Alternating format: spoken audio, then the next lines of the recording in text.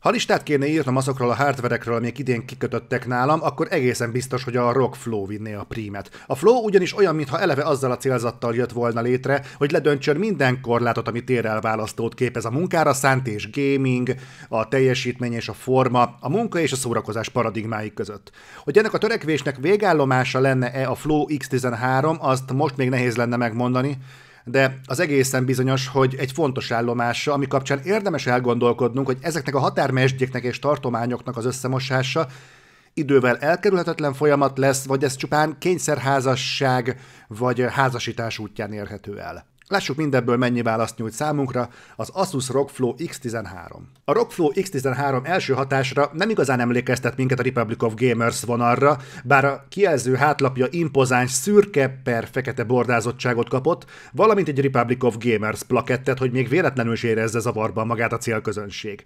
És ezért nyilván jobban vonza a szemet, mint szerényebb megjelenésű társai, ám a külsőségekben topzódás itt lényegében véget is ér.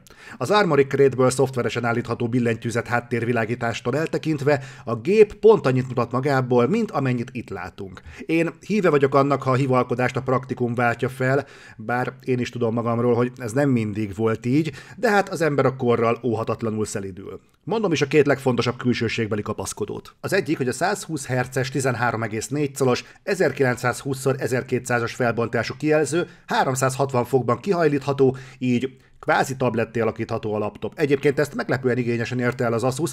Ha középtájt elkezdem lenyomni ezt a sátorformát, akkor nincs egy pont sem, ahol összecsuklana. A kijelző emellett nem pusztán érintős, hanem 100% sRGB lefedettségű. A doboz tartalmaz egy pent is, amivel kipróbáltuk, mit tud a felület a gyakorlatban, Photoshopban, és nem vállaltuk túl magunkat, de használható. Maradjunk annyiban. Egy komolyabb vakomtáblát nem fog kiváltani, de kisebb munkákra szerintem bőven megfelel. Az oldalélekre pillantva már kicsit visszafogottabb az öröm. Az mindenképpen üdvözlendő, hogy a Power gomb is ide került, amit egyfelől semmi nem indokolt, másfelől mégis örülök, hogy így döntöttek Tajvanban, mert valahogy esztétikusabb, mint ugyanez a billentyűzet fölött. Ami a nagyobb gond, az a hagyományos portok száma. A Power gomb felül jobb oldalon van egy USB Type-C csatolónk, amin keresztül tölteni tudjuk a flót, illetve egy hagyományosabb USB 3 3.2-es portunk, amit a bal oldalon még kiegészít egy HDMI 2.0 B kimenet, és ennyi.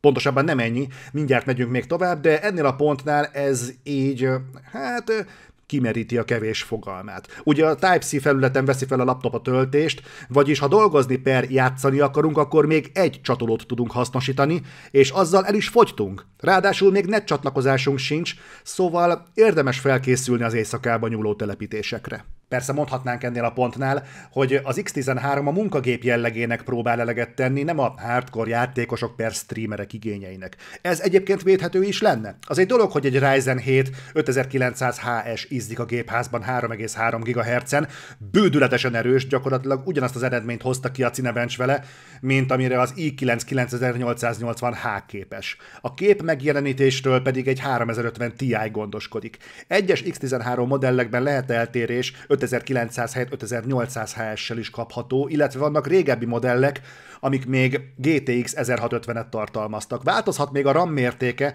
amiből kerülhet bele 16 vagy 32 GB LPDDR4X-es modul. Ez így elmondva nem hangzik rosszul, de ami kicsit visszaveti az összképet, az a háttértár.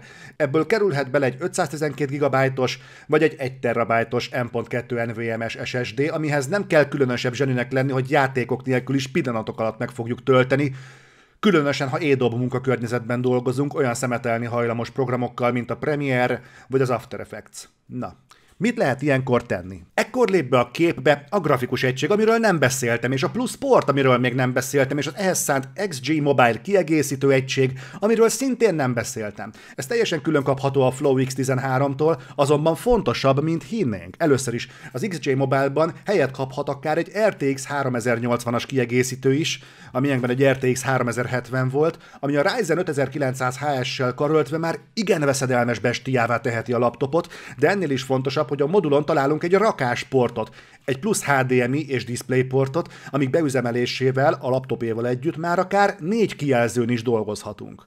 Kapunk négy további USB csatolót, ami azért marhára nem mindegy, mivel innentől nem csak plusz háttértárat tudunk rálökni, de külső egeret és billentyűzetet is, net csatlakozási lehetőséget, Hoppá, de még egy SD kártyaolvasót is. Amúgy ez a külső egység nem is néz ki rosszul. Ki lehet támasztani, szépen izzik rajta a ROG logó, amikor működik, szóval amit lehet, azt kihoztak belőle. Az eszköz amúgy nagyjából 1 kg PCI Express 3.1 interfészen keresztül továbbítja az adatokat a laptopnak egy 41 cm-es kábelen keresztül, ami amúgy jól hangzik, de egyfelől ez a kábel nem igazán rugalmas, szóval egy igen szűk terület az, ahova be lehet állítani a modult. Ráadásul, mivel ennek állandó 28 wattos tápellátás kell, így innentől be is van határolva, hogy az XG beüzemelésével használható-e a Flow, mint hordozható laptop, mert nem. Egyébként az eszköz egy fejlesztett gőzkamrás hűtéssel dolgozik, ennek hála ugyan elkerülhető a határértéken túli melegedés, de azért ez is jár némi hanggal. Egyáltalán nem sokkal, távolról sem zavaróval,